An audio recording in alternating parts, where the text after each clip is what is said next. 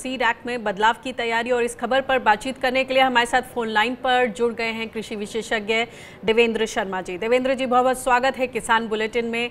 ये एक अच्छी खबर, विंटर सेशन में हो सकता है हम देख सकते हैं कि एक नया सीड एक्ट जो है, पुराने सीड एक्ट 1966 को रिप्लेस करे।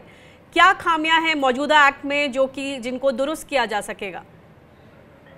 देखिए, जो सीड एक्ट आप 1966 के बात कर रही हैं, वो 2004 में एक एफर्ट हुआ था सीट बिल 2004 लाकर जो अभी तक पार्लियामेंट में कभी आता है कभी बाहर चला जाता है और ये प्रोसेस चलती रही है। बहुत जटिल थी क्योंकि इसमें बड़ी कंट्रोवर्सी थी बहुत सेंसिटिव इशू है और इतना टाइम लगा इसको 2004 से लेकर अभी तक कुछ इस पर निर्णय नहीं हो पाया। तो मुझे लगता है कि ये दो अगर अगले विंटर सेशन में आता है उससे पहले भी पहली बात तो यह है कि इस पर बहुत चर्चा होने की ज़रूरत है जैसे कि पहले हुआ था। और फिर इसको विंटर सेशन में लाया जाए तो मुझे लगता है कि वो बहुत इम्पोर्टेंट होगा।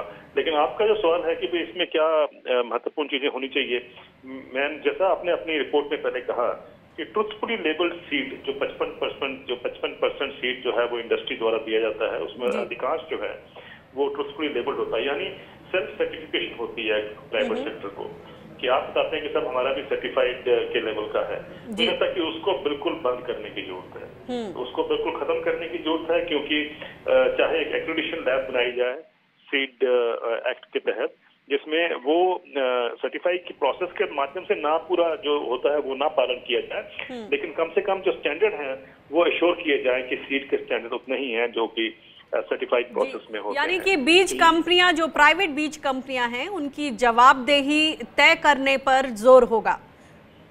एक बात तो ये है। दूसरा ये है अनिका जी कि इसमें सबसे इम्पोर्टेंट चीज़ जो है वो सीड की लाइबिलिटी के ऊपर है।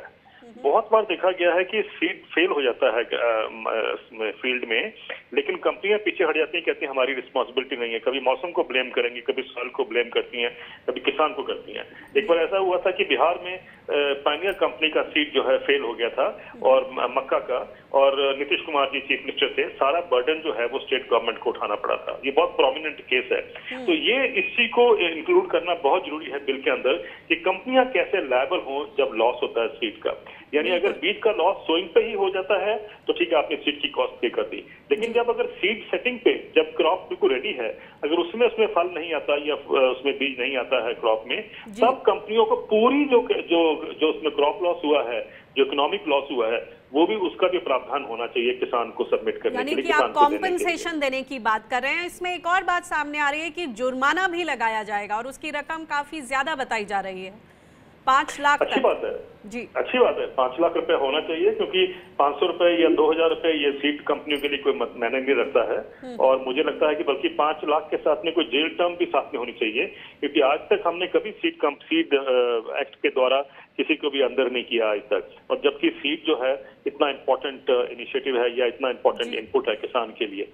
तो मुझे लगता है कि ये बहुत इंपॉर्टेंट है ये स्टेप और दूसरी बात देवेंद्र जी एक और बात बताएँ कि देश में जीएम बीज की भी एंट्री हो चुकी है। हमने हाल ही में ऐसे तमाम केसेस देखे जहाँ एचटीबीटी कॉटन की पैरवी कर रहे थे। कुछ किसान संगठन भी उसमें शामिल थे और वो उसको बोने की इजाज़त देने की मांग कर रहे थे। तो ऐसे में जो पूरी जो जीएम बीज है जो उसकी पूरी सप्लाई चेन है उस पर भी नकेल कसने की ज़रूरत है और क्या इस एक्ट में उसका भी प्रावधान होगा?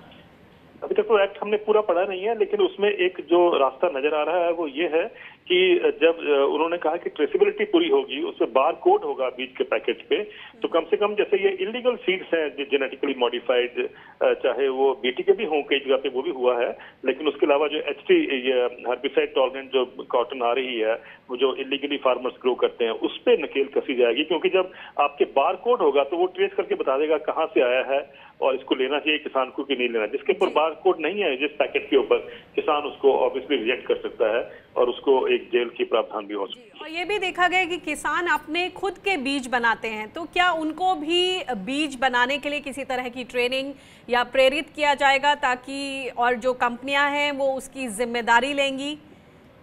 कि जो बीज मुझे मुझे पता चला है इसमें खबर में कि वो खबर से वो ये पता चला है कि जो किसानों का अपना सीड जो सेव करते हैं और वो उसको बचा के फिर लगाते हैं उस पर कोई नकेल कसने की ज़रूरत नहीं है वो उसको उसको उसको टच नहीं किया जाएगा। यानी वो सर्टिफिकेशन के दायरे में नहीं लाया जाएगा। लेकिन जो आपका दूसरा सवाल है कि भी क्या किसानों को प्रेरित किया जाएगा वो तो मुझे लगता है कि वो प्रोसेस चलता ही है क्योंकि जो भी सीड के प्रोडक्शन में आता है उसकी ट्रेनिंग होनी बहुत ज़रूरी है। लेकिन सबसे ज़्यादा है कि जो किसानों का अपना बीज है आ, उसको फार्मर राइट्स के अंतर्गत तो उसका इस्तेमाल करने का उसका प्रावधान होना चाहिए और उसके ऊपर कोई सर्टिफाइड सीड का या सर्टिफाइड करने की कोई ज़रूरत नहीं है।